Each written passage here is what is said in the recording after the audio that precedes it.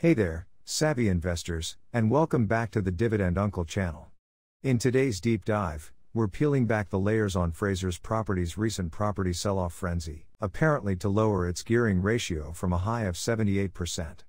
From offloading Nex Shopping Mall to Frasers Centrepoint Trust, or FCT, to handing over German assets to Frasers Logistics and Commercial Trust, or FLCT, and a fascinating twist with Frasers Hospitality Trust, or FHT declining a purchase offer. This episode unpacks two key questions.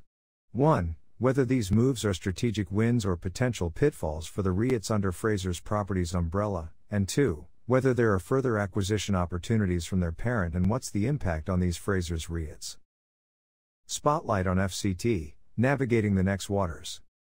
Diving into FCT's recent strategic move, the acquisition of an additional 24.5% stake in Nex from its parent, Frasers property, is noteworthy, boosting FCT's stake to a significant 50%.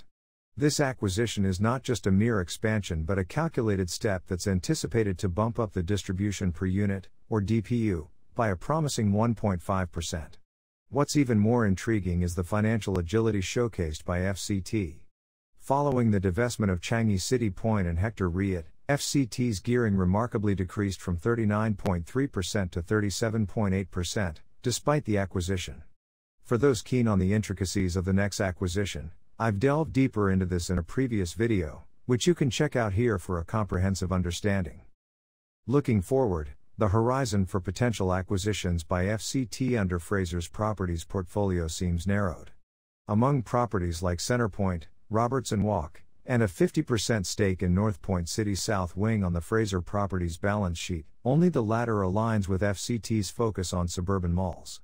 Valued at about $1.1 billion, North Point City South Wing doesn't present the same allure as Nex.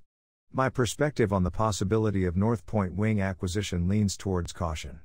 Acquiring it might spike FCT's gearing significantly amidst the current high interest environment possibly over leveraging without the same degree of return Nex promises. Expanding FLCT's portfolio through strategic acquisitions. FLCT recently marked its growth strategy with the acquisition of four German logistics properties from its parent, Frasers Property, at a valuation of $188.9 million. These properties, all fully occupied with three holding freehold status, underscore FLCT's commitment to enhancing its European logistics portfolio. The financing of this acquisition through $179 million in notes at a 3.83% interest rate has modestly adjusted FLCT's gearing ratio upwards to 32.5%, maintaining its financial health and readiness for further strategic expansions.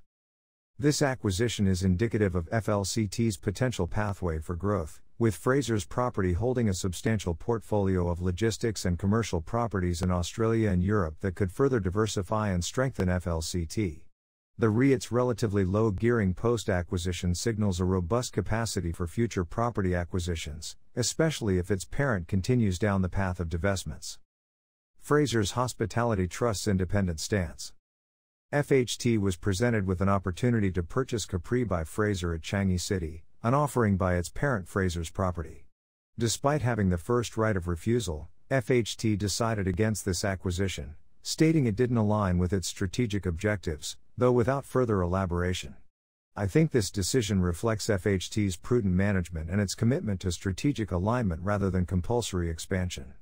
With a healthy gearing ratio of 34.5%, FHT possesses the financial flexibility for acquisitions but opts for caution, underlining the trust's autonomy and strategic discernment in its growth approach. Looking ahead, while Frasers Property holds other hospitality assets potentially available for sale, FHT's recent decision signals a new era of selective growth. This independent approach, if continues, ensures that any future acquisitions will likely meet stringent criteria for strategic fit and yield accretion. The Dividend Uncle's take on Frasers Property's selling spree. As Frasers Properties deleverage and sell off its assets, the landscape for its REITs, FCT, FLCT, and FHT evolves, bringing both opportunities and critical decisions into focus. For FCT, its acquisition of a stake in Nex was a strategic move, boosting its DPU and lowering its gearing. The focus now should be on optimizing Nex and enhancing existing assets, rather than pursuing additional acquisitions, especially given the limited alignment of Frasers Property's remaining assets with FCT's suburban mall focus.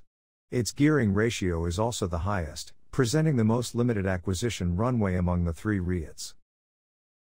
For FLCT, its acquisition of the German logistics properties aligns with its expansion strategy, comfortably supported by a 32.5% gearing post acquisition. With Frasers Property's intent to offload more assets, FLCT stands on the brink of significant growth opportunities. However, this is also a moment fraught with potential pitfalls. Frasers Property's divestment strategy may include assets of varying quality, prompting a necessity for the FLCT's management to independently assess each potential acquisition's merits. In addition, as shareholders, our active participation in scrutinizing these acquisitions is vital. We must assess proposed acquisitions independently and comprehensively. For FHT, as the hospitality investment sector blooms, there will be high investor demand for hospitality assets.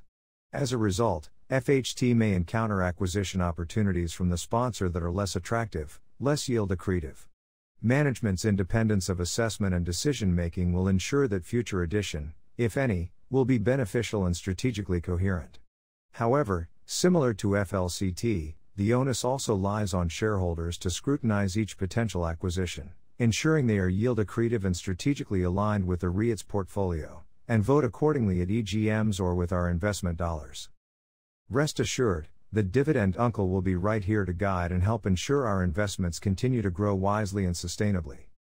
Conclusion As we navigate the landscape where a parent company divests properties to its REITs, it's crucial to remember that each transaction demands meticulous scrutiny. The financial headroom of each REIT for acquisitions, the growth potential and strategic fit of each asset, the independence of REIT management in evaluating the parent company's disposals, and our proactive assessments as shareholders, all play pivotal roles in determining the true value and strategic fit of these transactions. It's this nuanced approach that ensures we're not merely collecting assets, but are strategically enhancing our portfolios for long term growth and stability.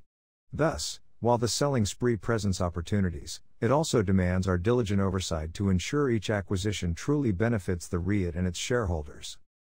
Until next time, happy investing.